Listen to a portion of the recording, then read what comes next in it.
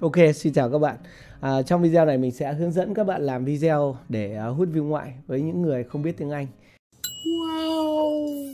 À, đây là cái câu hỏi của bạn uh, Huyền LT21 ở trên kênh của mình.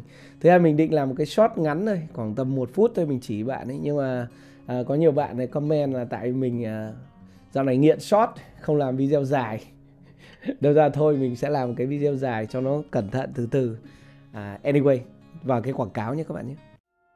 Sinambank, ngân hàng nước ngoài lớn nhất tại Việt Nam, cam kết mang đến cho khách hàng những giải pháp tài chính hiệu quả và tiện lợi, mức lãi suất cho vay tốt nhất thị trường, với gói lãi suất cho vay bất động sản chỉ từ 7.99%, vay mua xe ô tô chỉ từ 9.19%, thời hạn vay linh hoạt, tỷ lệ cho vay lên đến 80% giá trị tài sản. Sinambank giúp bạn tiết kiệm chi phí và đạt được mục tiêu tài chính nhanh chóng. Hãy đến với Sinambank chi nhánh Hoàng Mai để được tư vấn và hỗ trợ tài chính hoàn hảo nhất cho mọi nhu cầu của bạn. Thông tin chi tiết xin vui lòng xem dưới phần mô tả của video này. Rồi đó thì ờ, các bạn nào cần tiền, à, cần vay vốn à, mua ngân à, mua nhà, mua ô tô, các bạn nhớ liên hệ với anh Dương đẹp trai, giám đốc chi nhánh Hoàng Mai của Sinhan Bank để được hỗ trợ vay vốn rất là tốt. Tốt nhất thị trường. Ok. Đó là anh ấy bảo mình thế.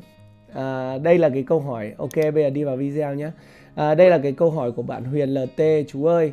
Nếu tiếng Anh không dành mình có thể làm sắp tự động tiếng Việt đổi thành tiếng Anh bằng tool nào đó hoặc cách nào đó để người nước ngoài họ coi được không chú ạ?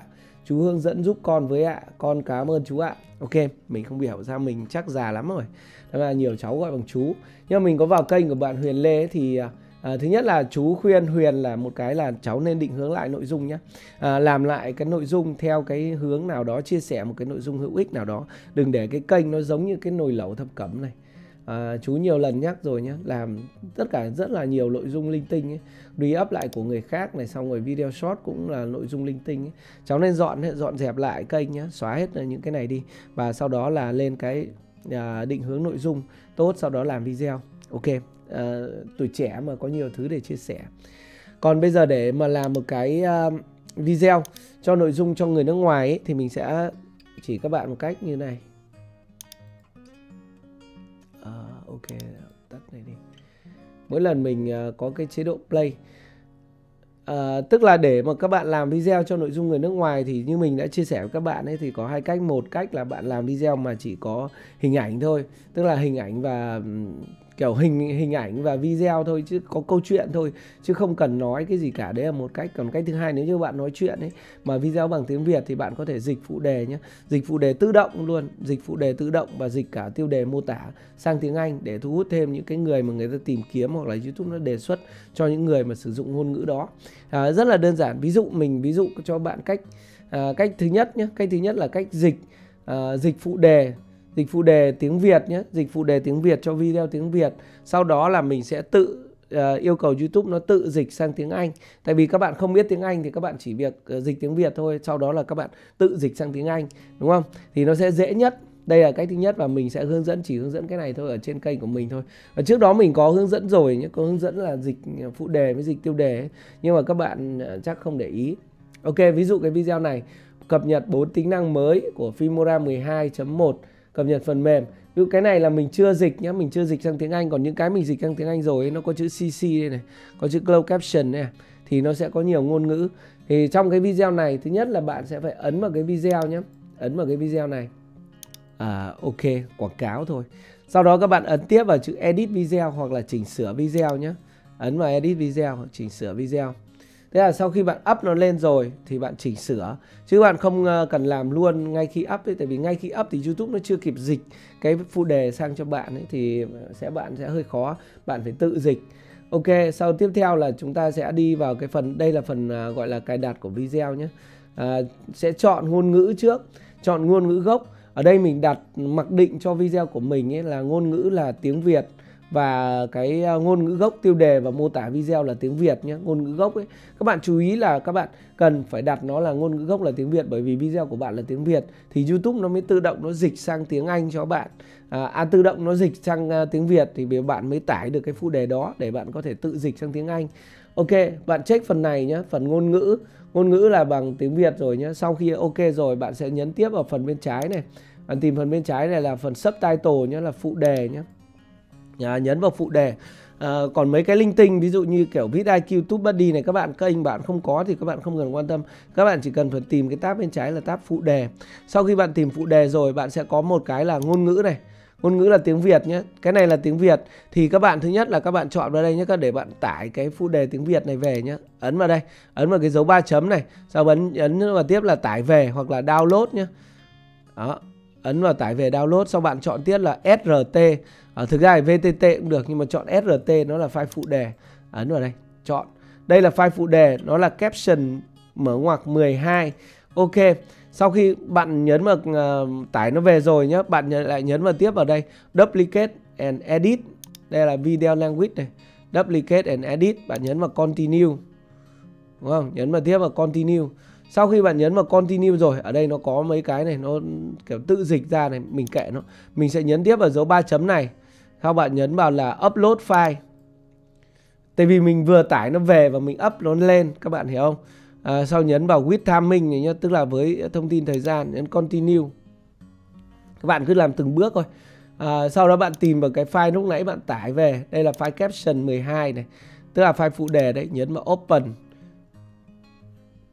rồi bây giờ là xong rồi bạn đã có một cái à, có phụ đề tiếng Việt rồi nhá. Phụ đề tiếng Việt bạn đã up lên đây rồi bây giờ bạn có thể play. Bạn chỉnh sửa nhá. Đây ấn vào play này để chỉnh sửa. Sinambank, ngân hàng nước ngoài lớn nhất tại Việt Nam, cam kết mang đến cho khách hàng những giải pháp tài chính hiệu quả và tiện lợi, mức lãi suất cho vay tốt nhất thị trường, với gói lãi suất cho vay bất động sản chỉ từ 7.99%.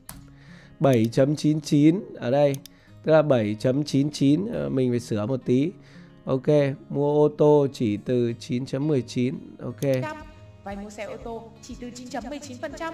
Thời hạn vay linh hoạt, tỷ lệ cho vay lên đến 80% giá trị tài sản. Hãy đến Ok, như vậy là mình đã có một cái file rồi, tức là có một cái file phụ đề. Tất nhiên là các bạn phải chỉnh sửa cái này nhé.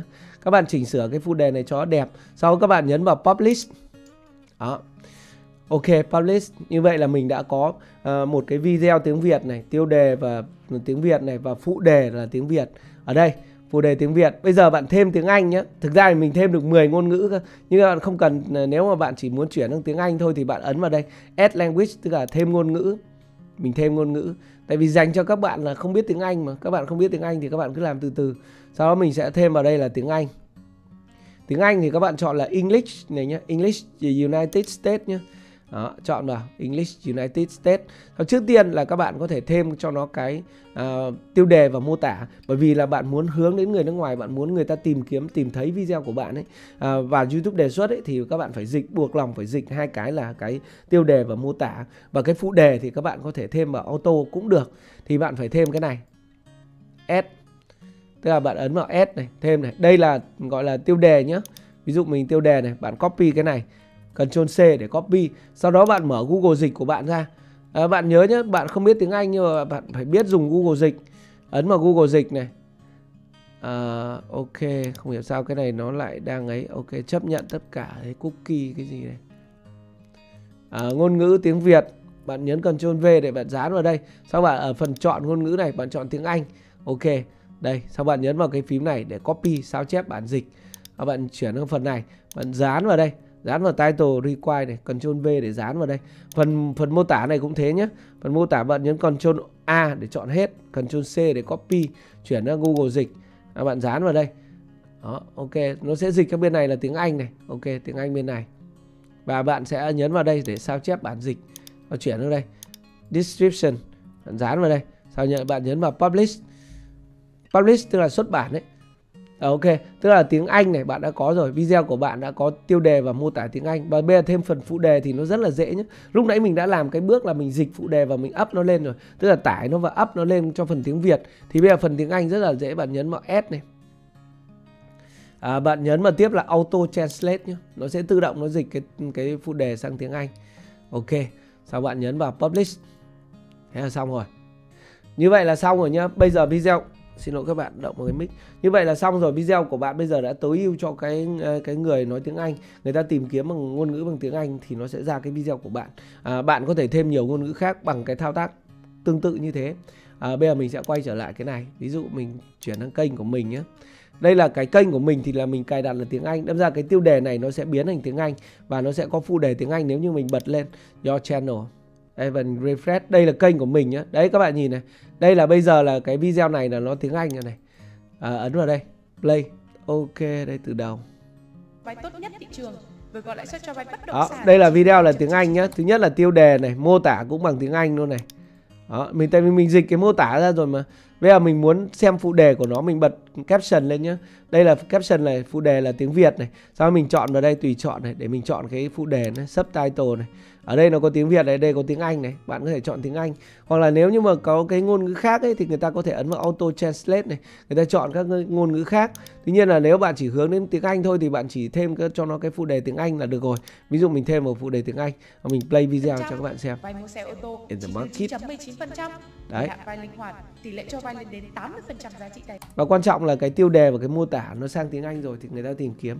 À, đơn giản. Ok đấy là làm nào để làm à, video thu hút view ngoại cho những người không biết tiếng Anh. Cách rất là đơn giản. À, cảm ơn các bạn đã xem video. Nếu như các bạn có bất kỳ câu hỏi nào thì các bạn có thể comment bên dưới. Mình sẽ làm video hướng dẫn các bạn. À, xin chào và hẹn gặp lại các bạn ở những video tiếp theo. Goodbye. Đèn này hơi mặt trời nhỉ. Bye bye.